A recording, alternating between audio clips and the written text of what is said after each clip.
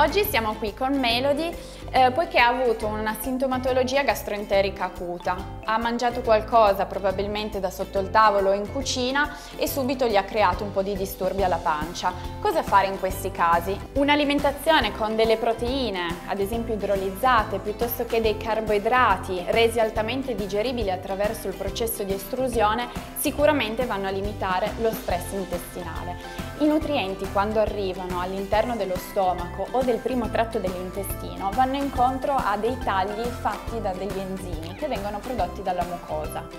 Questi enzimi, se facilitati nella loro azione attraverso proprio l'alta digeribilità delle materie prime, facilitano l'assorbimento dei nutrienti e quindi vanno anche a limitare quei processi di infiammazione che sono già presenti a livello della mucosa intestinale o dello stomaco. Ecco che per questa micina possiamo andare a somministrare un'alimentazione dietetica specifica proprio per andare a favorire l'assorbimento di tutti i nutrienti e quindi accelerare quello che è il processo di guarigione.